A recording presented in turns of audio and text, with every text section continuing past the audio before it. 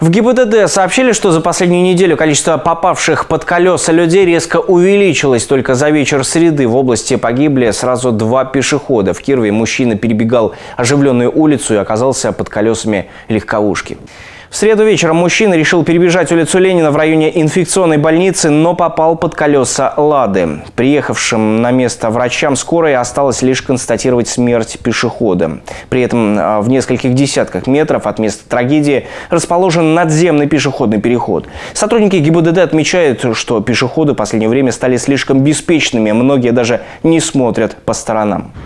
Самая простая отговорка у пешеходов, которые перебегают дорогу в неположенном месте, о том, что либо далеко идти, либо тяжело, либо болят ноги. В то же время им не мешает перебегать проезжую часть в неположенном месте бегом.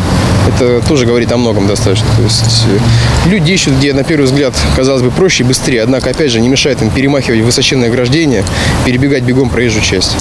Дорожный полицейский напоминает, водители должны уступать дорогу пешеходам на зебре, но в правилах четко написано, что и пешеход также обязан удостовериться, что все транспортные средства видят его и смогут остановиться. Велосипедисты же должны переходить дороги пешком, а не на велосипеде.